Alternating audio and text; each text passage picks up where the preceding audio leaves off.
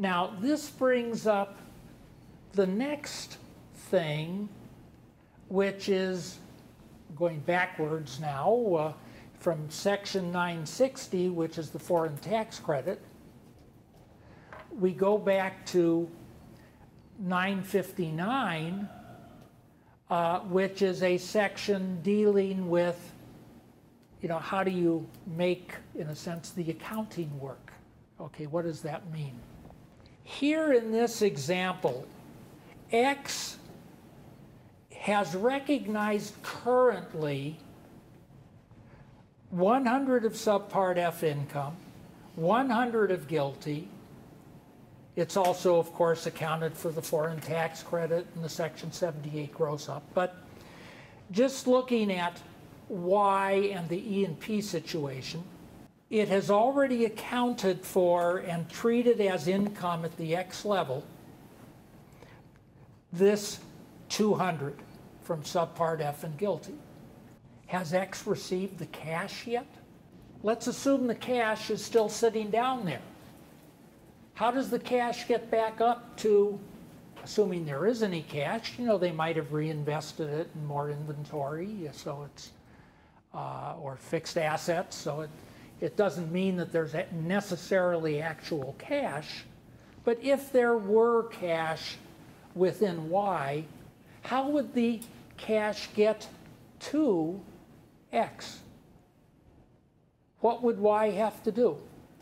Declare a dividend. Y would have to declare a dividend.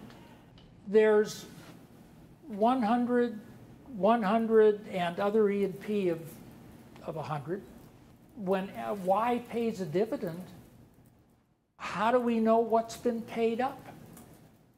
Do we know, you know, do we know uh, whether it's paid out of subpart F income, GILTI, or other E&P? And does it matter? Well, it does matter because uh, depending on what's paid up, uh, there may be, again, more foreign tax credit issues. Uh, when Y pays a dividend to X, is it possible that country B imposes a dividend withholding tax? Yeah, it is possible. So if the dividend withholding tax, if there's a dividend withholding tax and we pay out of other E and P, there's certainly no chance for a foreign tax credit. Because if the income's not recognized because of the participation exemption, then any dividend withholding tax will just be lost and not provide any benefit. On the other hand, with subpart F and GILTI, then a dividend withholding tax is relevant to income which is actually recognized within the U.S. tax return for X and a foreign tax credit benefit makes some sense. So the rules contemplate this kind of stuff and they give ordering rules and they create accounts that allow you to track it. So there would be what's called uh, generally a, a uh, PTI account, previously taxed income, previously taxed income,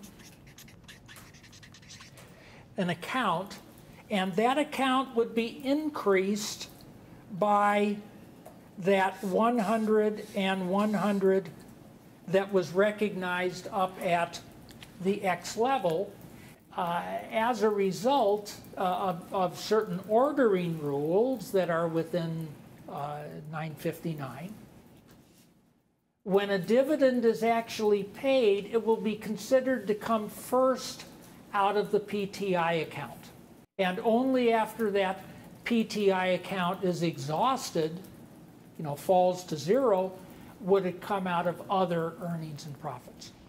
Now, when a dividend is actually paid, and to the extent that it comes out of previously taxed income, well, gee, it's been previously taxed, So it is specifically under 959 not treated as dividend income at the X level. This sort of, as I was saying before, gets the accounting right. X has recognized taxable income but has not yet received the cash. Okay, when it does receive the cash, since it's already received the taxable income, it does not have income a second time. There's no double counting. So again, there's some logic behind these things. You know, it, it may sound like a, a morass, but again, you get into it a little bit in your work and uh, or through uh, your study, and it will uh, it will both make sense and uh, and uh, again be logical. You promise. I promise. Stake my life on it. Okay, and then while we're on the subject of, you know, getting the accounting right, uh, if we go to section 961, uh, which fortunately is up there now, uh, we uh, see that there are rules regarding what is the basis for gain or loss of X's investment account, you know, X's cost basis in the uh, uh, in the CFC. So uh, again, there's rules which tell you that, well, gee, if you have income uh, from subpart F or GILTI, okay, you're going to increase the basis, the cost basis of X in Y.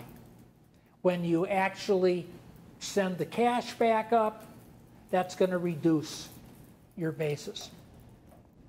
And that's important should you sell the, uh, the subsidiary and have to recognize gain or loss on the sale. How much is the gain or loss? You know, proceeds minus your basis.